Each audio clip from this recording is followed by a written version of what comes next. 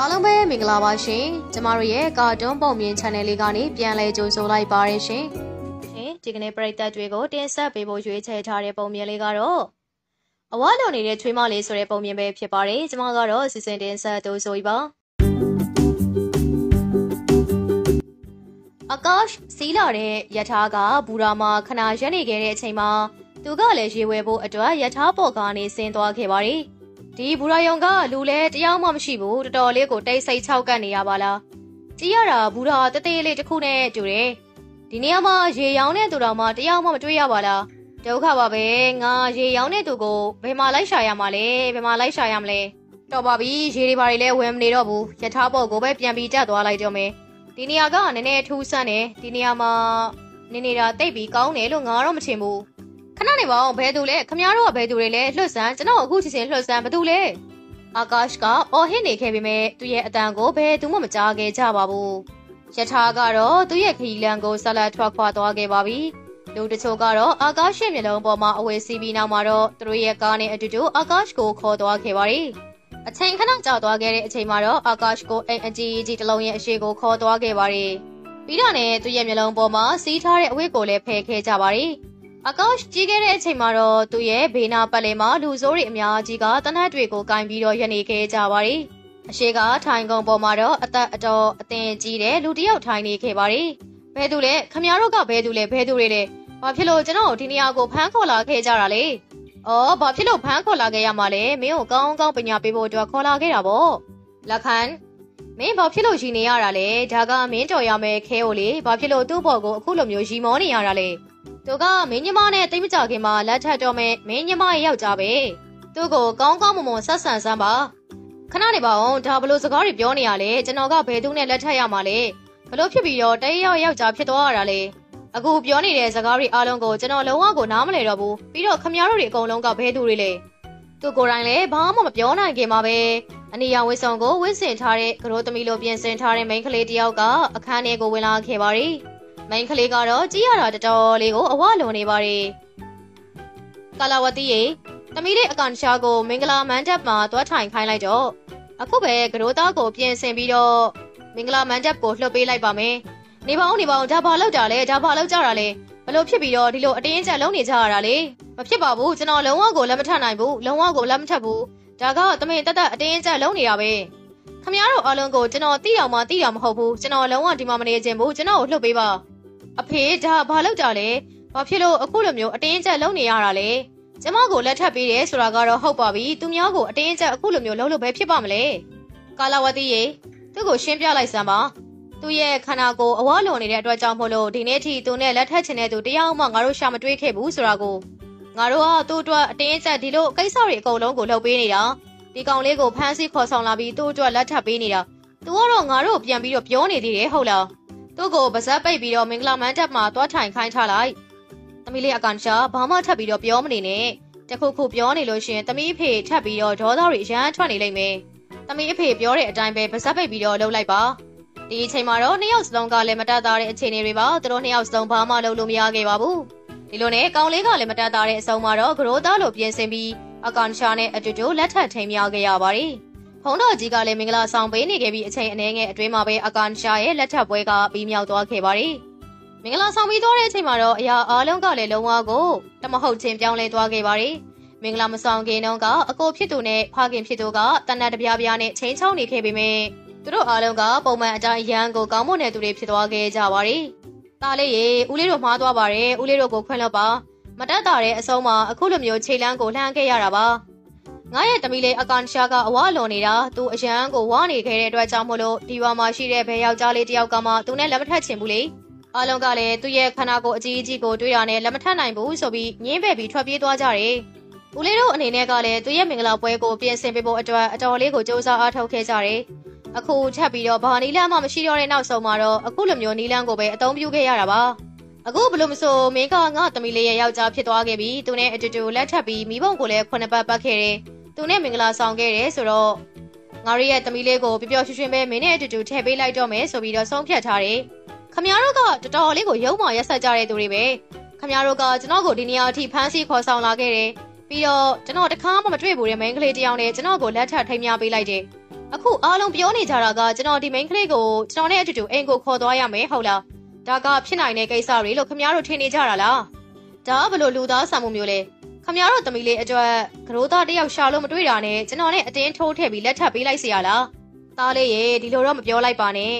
ငါရဲ့သမီးလေးအကန်ရှာကအရန်ကိုကောင်းမွန်တဲ့လိမ္မာရေးချရှိတဲ့ main ကလေးတယောက်ပါသူ့မှာအပြည့်ဆိုလို့တခုတည်းရှိတယ်အဲ့ဒါကတော့သူကဝနေတာသားလေးရေငါရဲ့အဝလွန်နေတဲ့သမီးလေးကိုလက်ခံပေးလိုက်ပါနော်ငါသမီးလေးရဲ့ဘဝကိုကဲတင်ပေးလိုက်ပါဒီလိုနဲ့ရက်နေငယ်ကြတဲ့အထိသူကတော့အကန်ရှာရဲ့အိမ်မှာပဲဆက်ပြီးတော့နေနေခဲ့ရပါတယ် ဒေါသတွေအရန်ထွက်နေခဲ့တဲ့သူကတော့အကန်ရှာနဲ့စကားတစ်ခွန်းမှကိုမပြောခဲ့ပါဘူးသူကအမြဲတမ်းပါဇက်ပိတ်ပြီးတော့တတဲ့လေးပဲနေနေခဲ့ပါတယ်အကန်ရှာကတော့သူနဲ့အချိန်ပေါင်းများစွာစကားပြောဖို့အတွက်စ조사ခဲ့ပေမဲ့မအောင်မြင်ခဲ့ပါဘူးအကာရှ်ကလည်းဒေါသတွေအရန်ထွက်ပြီးတော့သူ့ရဲ့စိတ်ထဲကနေပြီးတော့အကြံစီတစ်ခုကိုလည်းကြံစီနေခဲ့ပါတယ်သူကဒီအကြံအောင်မြင်သွားရင်တော့အကန်ရှာရဲ့လက်ထဲကနေလွတ်မြောက်သွားနိုင်မှာပါ နောက်နေ့မှာတော့သူကမိသားစုဝင်တွေအကုန်လုံးကိုပြောလိုက်ပါတယ်အကန်ရှာကိုသူ့ရဲ့မိဘအိမ်ကိုခေါ်သွားဖို့အဆင်သင့်ပဲဆိုတာကိုပါအကန်ရှာကလည်းအရန်ကိုပြောရွှေနေခဲ့ပါတယ်ဘာလို့လဲဆိုတော့သူလက်ထပ်ခဲ့တဲ့အကာရှ်ဆိုတဲ့သူကသူ့ကိုမိမအနေနဲ့လက်ခံလိုက်ပြီလို့ထင်သွားခဲ့လို့ပါသူ့ကိုရခမအိမ်လဲခေါ်သွားတော့မယ်ပေါ့အကန်ရှာကလည်းသူ့ယောက်ျားနဲ့အတူတူမြို့ပေါ်ကိုထွက်ခွာသွားဖို့အတွက်ယထာစီးနေခဲ့ပါတယ် အကာရှ်ကလည်းတခါတည်းဆုံးဖြတ်ထားခဲ့ပါတယ်အကန်ရှာကိုသူဘူရာယောင်တစ်ခုခုမှထားရခဲ့မယ်ဆိုပြီးတော့ပါသူကိုယ်တိုင်ကလည်းဖြစ်ပျက်ခဲ့တဲ့ကိစ္စတွေအကုန်လုံးကိုမြို့ပေါ်ကိုရောက်ပြီးဆိုတာနဲ့ရဲစခန်းတစ်ခုကိုတွားပြီးတော့တိုင်ကြားလိုက်မယ်ပေါ့ငါရှိမှအခွင့်အရေးကောင်းကောင်းတစ်ခုရှိနေတာပဲနောက်အရှိဘူရာယုံတစ်ခုကိုရောက်သွားပြီဆိုတာနဲ့ငါအကန်ရှားကိုထားခဲ့လိုက်မယ်ပြီးသွားရင်တော့ငါအိမ်ကိုငါတခါတည်းပြန်လိုက်မယ်ငါအိမ်ပြန်နေနဲ့ရစခန်းကိုဝင်ပြီးတော့ဖြစ်ပျက်ခဲ့တဲ့ကိစ္စတွေအကုန်လုံးကိုလည်းတွားတိုင်ရအောင်မယ် အခုလိုမျိုးဆိုးရွားတဲ့အခြေအနေတွေအကုန်လုံးကနေပြီးတော့ငါ့ကိုရဲတွေကပဲကဲတင်ပေးနိုင်မှာဟုတ်တယ်ဟုတ်တယ်ပြီးတော့သူကတော့ငါ့ကိုမတွေ့ဘူးဆိုရင်တော့သူ့အိမ်သူပြန်သွားလိမ့်မယ်အခုဆိုရင်တော့အရှိမနောက်ထပ်ဘူရာယုံတစ်ခုကိုရောက်လာတော့မှာပါရထားရပြီးဆိုတာနဲ့အကြောင်းပြချက်တစ်ခုမဟုတ်တစ်ခုပေးပြီးအာကာရှ်ကအကန်ရှာကိုဘူရာယုံမှာပဲထားကိုဖို့အတွက်ပြင်ဆင်နေခဲ့ပါတယ်။အကန်ရှာရေအခုအရှိမဘူရာယုံတစ်ခုရောက်လာလိမ့်မယ်။ အဲ့ဒီနေရာမှာကတော့အရန်ကိုနာမည်ကြီးပြီးဆုတောင်းပြတဲ့ဖះเจ้าတစ်ကြောင်ရှိတယ်တဲ့။ငါတို့အဲ့ဒီဖះเจ้าကိုသွားပြီးတော့ဆုတောင်းကြမယ်လေ။တစ်ခေါက်လောက်တော့ဆုတောင်းခြင်းနဲ့ဆိုပြီးတော့ငါတွေးနေကြတာ။ညနေလောက်ကြာမှပဲငါတို့ယထာနောက်တစ်စင်စောင့်ပြီးတော့မြို့ကိုပြန်ကြမယ်။ဒီနေရာကိုနောက်တစ်ချိန်လာဖို့ဆိုတာကလွယ်ကူတဲ့ကိစ္စတစ်ခုမဟုတ်ဘူးအခုဒီနေရာကိုလှွတ်သွားလို့ရှင်တော့နောက်တစ်ချိန်ဘယ်တော့မှပြန်မရောက်ကြလဲဖြစ်နိုင်နေအဲ့ဒါကြောင့်ဖះเจ้าကိုငါတို့တစ်ခေါက်လောက်သွားပြီးတော့ဖះမိပူဇော်ကြမယ်လေ ရှင်ကျမတို့ဒီလောက်များကြီးစဉ်းစားပေးနေရလားဒါဆိုရင်ကျမကတကယ်အရန်ကိုကံကောင်းတဲ့အမျိုးသမီးတယောက်ပဲပေါ့နော်ရှင်လိုမျိုးယောက်ျားကိုရတာကျမတကယ်အရန်ကိုကံကောင်းတယ်လို့ထင်လာပြီကျမရဲ့အဖေနဲ့ကျမရဲ့အကိုတွေအကုန်လုံးကရှင်ဘော်ကိုမကောင်းတဲ့အလုပ်တွေအများကြီးလုပ်ခဲ့မိတယ်ရှင်ကိုအတင်းအကျပ်ဖမ်းဆီးခေါ်ဆောင်လာခဲ့ပြီးတော့ကျမနဲ့လည်းလက်ထပ်စေခဲ့တယ်။ဒါတော့မှရှင်ကကျမမိသားစုဝင်တွေအားလုံးကိုခွင့်လွှတ်ပေးခဲ့တယ်။အခုဒီနေ့ရှင်ကကျမနဲ့အတူတူဖះเจ้าမှာဖះသွားရှိခိုးဖို့အတွက်လည်းပြောနေသေးတယ်။ ဒီစကားတွေအားလုံးကိုကြားလိုက်ရတော့ကျမတကယ်ဖះသခင်ကိုကျေးဇူးတင်မိရဲ့။အကာရှနဲ့ကန်ချာတို့နှစ်ယောက်စလုံးစကားပြောနေခဲ့တဲ့အချိန်မှာပဲသူတို့ရဲ့အရှိကထိုင်ကုန်ပေါ်မှာယောက်ျားလေးတချို့လာထိုင်ခဲ့ကြပါတယ်။ပြီးတော့နဲ့အကန်ရှာကိုဝါရဲဆိုပြီးတော့ပြောဆိုနေခဲ့ကြပါတယ်။အကိုရေကြည့်ပါဦးဒီ main ကလေးကတော်တော်လေးကိုဝါတာပဲနော်ဝါကြောက်နေရပဲပြီးတော့ဒီ main ကလေးကအခုမှလောလောလတ်လတ်လက်ထပ်ထားတဲ့ပုံပဲနော်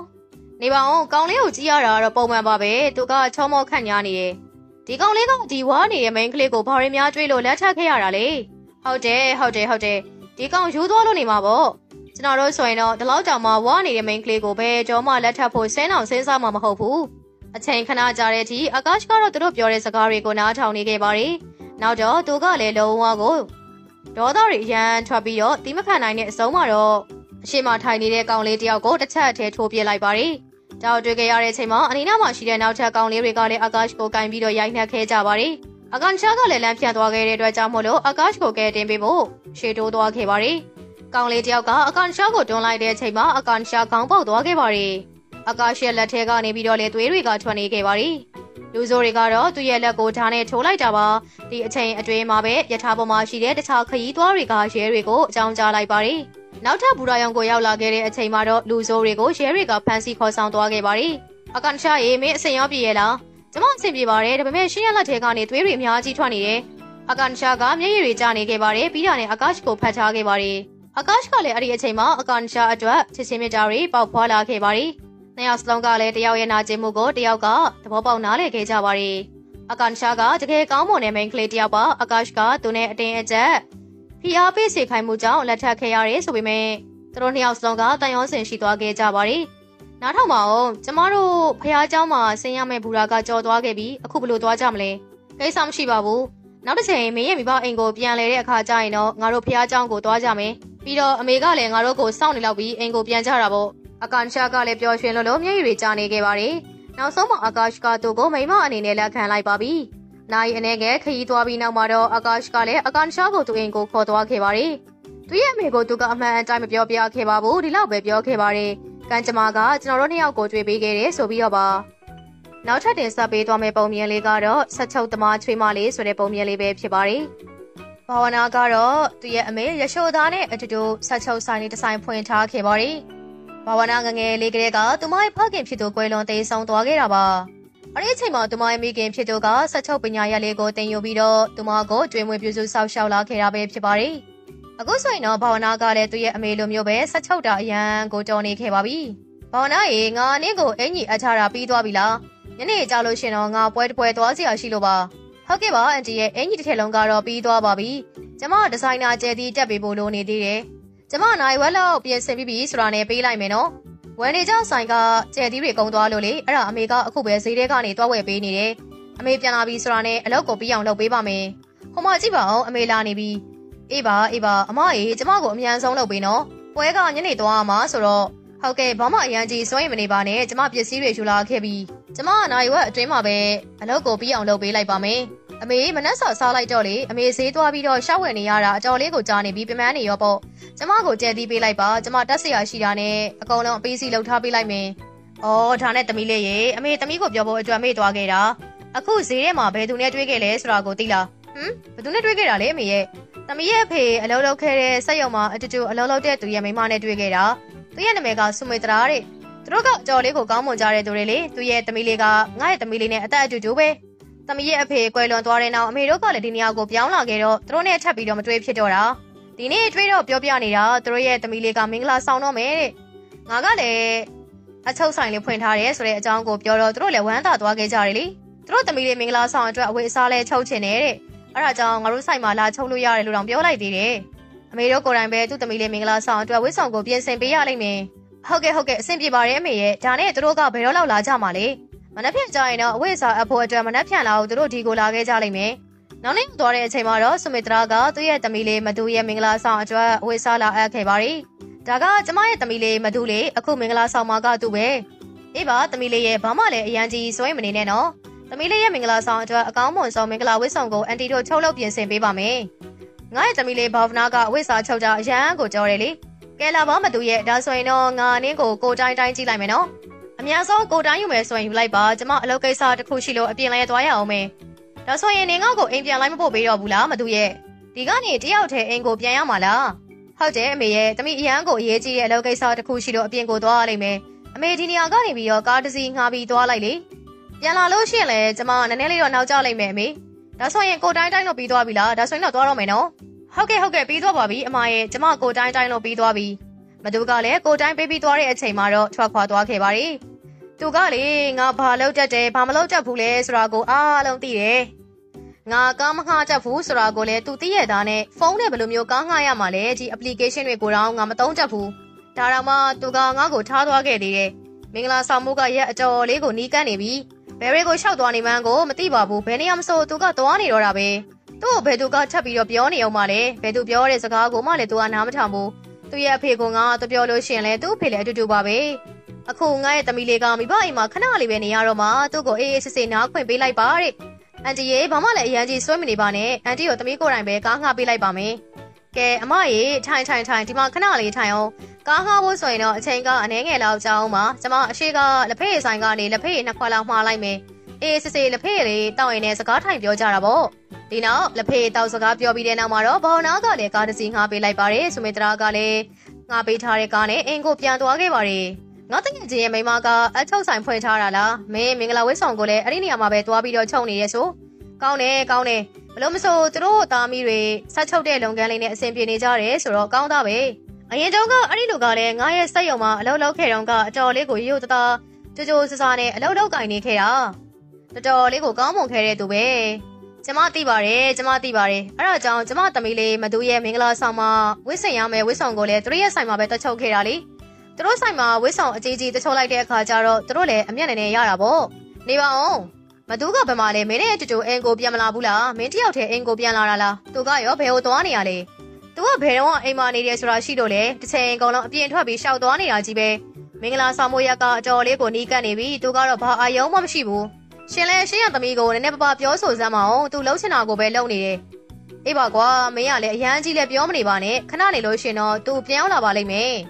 ဒီလိုနဲ့ဘောင်နာနဲ့သူ့ရဲ့အမေနှစ်ယောက်စလုံးကမသူရဲ့မင်္ဂလာဆောင်မှာဝေဆောင်ဖို့အတွက်မင်္ဂလာဝေဆောင်ကိုချုပ်လုပ်ပြင်ဆင်နေခဲ့ကြပါတယ်ဝေဆောင်တွေအကုန်လုံးချုပ်လုပ်ပြင်ဆင်ပြီးသွားတဲ့အခါမှာတော့စုမေတရာရဲ့အင်ကိုဝေဆောင်တွေရောက်လာခဲ့ပါပြီ။သမီးလေးဘောင်နာသမီးကတကယ်အရန်ကိုကြော်တာပဲမင်္ဂလာဝေဆောင်တွေကတကယ်အရန်ကိုလှပတယ်တိလားဒီဇိုင်းပုံစံလေးကလည်းအရန်ကိုပြီးပြည့်စုံနေရပဲ။ သမီးလေးမတူသမီးလေးအမြန်ဆုံးဒီမှာထွက်လာကြည့်ပါဦး။သမီးလေးမင်္ဂလာဆောင်မှာဝေးရမယ်ဝေဆောင်တွေရောက်လာပြီ။အမေရဲ့ကျမမင်္ဂလာဆောင်အတွက်ဝတ်စုံတွေပါတွေကြီးဖို့အတွက်မအားဘူးဒါတွေအကုန်လုံးကိုလည်းစိတ်ဝင်စားဖို့ကြီးစရာရှိတာတွေအကုန်လုံးကိုအမေပဲတမီးအစကြည့်ထားလိုက်လေအခုအရန်ကိုအလုံများနေတယ်အမေရဲ့အခုလောလောဆယ်အလှပြင်ဆိုင်မှာတမီးချိန်ထားတာတခုရှိတယ်အဲ့ဒါကြောင့်အခုပဲအလှပြင်ဆိုင်ကိုသွားတော့မလို့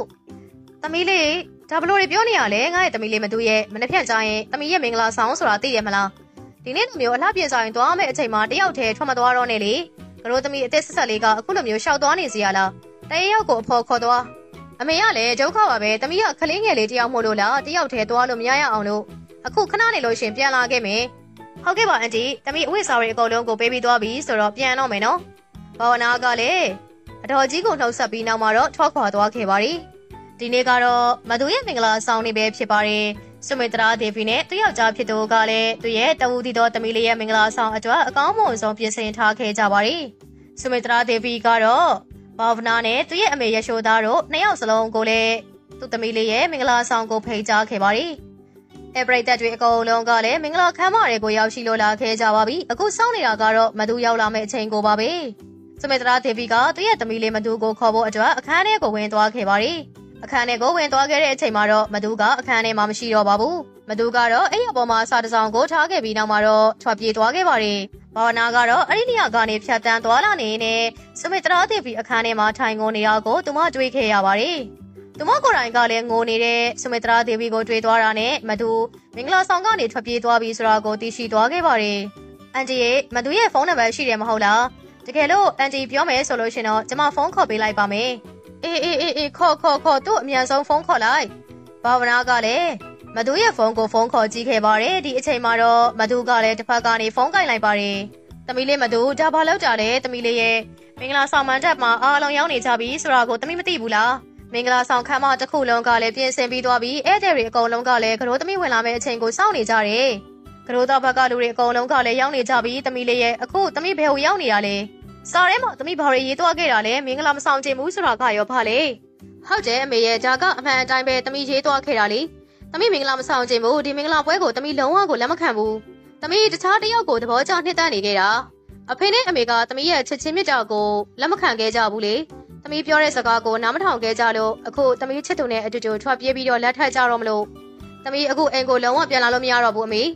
ဒုက္ခပါပဲသူဖုန်းချသွားပြီးဖုန်းချသွားပြီးအိမ်ကိုပြန်မလာဘူးတဲ့ သူတခြားတယောက်နဲ့လက်ထပ်ကြောမှာတဲ့အခုအဲ့ဒီရီအားလုံးအရှိမထွက်ပြီးတော့ဘာပြောရမလဲဆိုတာကိုလုံးဝနားမလည်တော့ဘူးမသူရဲ့အဖေကလည်းကိစ္စတွေအားလုံးကိုတည်သွားခဲ့တဲ့အချိန်မှာသူကလည်းဒေါသတွေတအားထွက်နေခဲ့ပါတယ်ဒါပေမဲ့လည်းသူဘာမှလုပ်လို့မရခဲ့ပါဘူးကရိုတာဘက်ကလူတွေအကုန်လုံးကိုအခန်းထဲခေါ်ပြီးနောက်မှာတော့ဒီကိစ္စတွေအကုန်လုံးကိုပြောပြခဲ့ပါတယ်။ဘော်ဖနာကလည်းအခန်းထဲမှာပဲရှိနေခဲ့ပါတယ်။အခုတော့နီလန်တစ်ခုပဲရှိတော့တယ်။ အကိုတို့အနေနဲ့မသူရဲ့နေရာမှာဘော်ဖနာကိုအကိုတို့အိမ်ကချွေမလေးအနေနဲ့တော့ဆက်ချင်တယ်ဆိုရင်တော့ကျမတို့အတင်းကျပ်လုံးနေရမဟုတ်ပါဘူး။စဉ်းစားကြည့်ကြပါ။ဘာဝနာကရန်ကိုကောင်းမွန်တဲ့ main ကလေးတယောက်ပါမသူကိုလက်ထပ်ပေးလိုက်တယ်လို့မျိုးပဲကျမတို့သူ့ကိုလည်းလက်ထပ်ပေးမှာပါအကိုတို့ရေကျွန်တော်တို့ဘက်ကနေအမားအကြီးကြီးလုံးမိသွားပြီဆိုတာကိုလက်ခံပါတယ်ကျွန်တော်တို့တမီကဒီကနေပြီးထွက်ပြေးသွားခဲ့ပြီးကျွန်တော်တို့လည်းဒီလိုအဖြစ်အပျက်တွေဖြစ်သွားတဲ့အတွက်အရန်ကိုရှက်ရွံ့မိပါတယ်မသူရဲ့မိဘတွေကငိုနေခဲ့ကြပါတယ်အဲ့ဒီအချိန်မှာကရိုတာကလည်းပြောလိုက်ပါတယ် ကျွန်တော်ဘော်ဖနာနဲ့လက်ထပ်ဖို့အတွက်သဘောတူပါတယ်သူနဲ့လက်ထပ်ရတာကျွန်တော်ကန့်ကွက်စရာအကြောင်းမရှိပါဘူးဘော်နာရေမင်းငါနဲ့လက်ထပ်နိုင်မလားဘော်နာအခုချိန်မှာပြန်လာမယ်ဆိုရင်တော့မှပဲငါသူနဲ့လက်မထပ်နိုင်တော့ဘူးငါကတော့ငါ့မိဘတွေအဆက်တကွဲအကျိုးနဲ့ဖြစ်ပြီးဒီကနေပြန်သွားရတာကိုမကြည့်ရဘူးဦးလင်းနဲ့တော့ကျမမင်္ဂလာဆောင်ကိုသဘောတူပါတယ်ဒါပေမဲ့အားလုံးသိကြတဲ့အတိုင်းကျမနဲ့အမေနဲ့ကဆက်ချုပ်ဆိုင်တသေးလေးတစ်ဆိုင်ကိုပဲဖွင့်လှစ်ထားခဲ့ကြတာဟုတ်တယ်စုမိတရာရဲ့ငါလည်းတမီလေးရဲ့မင်္ဂလာဆောင်နဲ့ပတ်သက်ပြီးကန့်ကွက်စရာမရှိပါဘူး ငါလည်းဘယ်လိုမဆိုသူ့ကိုလက်ထပ်ပေးရမှာပဲလေအာရှိရှလိုမျိုးကောင်းမွန်တဲ့ကောင်လေးကငါရဲ့တမီလေးကိုပျော်ရွှင်အောင်ထားလိုက်မယ်လို့လည်းယုံကြည်တယ်ကျမတို့တာမီနှစ်ယောက်စလုံးကဆက်ချုပ်ဆိုင်လေးတသေးလေးဆိုင်ကိုပဲဖွင့်ပြီးတော့စီးပွားရှာနေခဲ့ကြတာပါဒီအကြောင်းကိုတော့စုမိတရာလည်းသိပါတယ်ကျမတို့လိုမျိုးဆင်းရဲတဲ့မျိုးရိုးနဲ့အကိုတို့လိုမျိုးအရန်ချမ်းသာတဲ့အတိုင်းဝိုင်းတွေကဖြစ်ပါမလားကျွန်တော်ရဲ့မိသားစုထဲမှာဘော်နာလိုမျိုးကောင်းမွန်တဲ့မင်းကလေးတယောက်ကိုချွေးမတော်ရမယ်ဆိုတော့ဒီထက်ပိုပြီးတော့ကောင်းမွန်တဲ့ကံကောင်းခြင်းကမရှိတော့ပါဘူး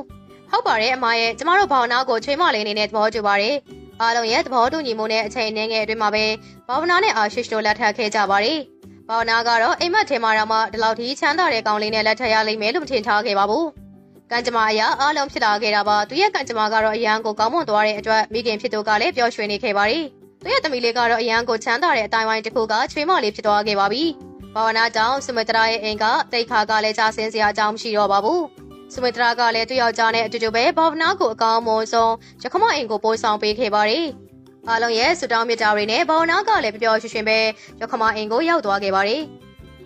ဒီဗီဒီယိုလေးကိုကြိုက်နေတဲ့တဲ့ဆိုရင်တော့ကျမတို့ရဲ့ channel လေးကို like လုပ်ပြီး subscribe လုပ်ပေးခဲ့ပါအောင်နော်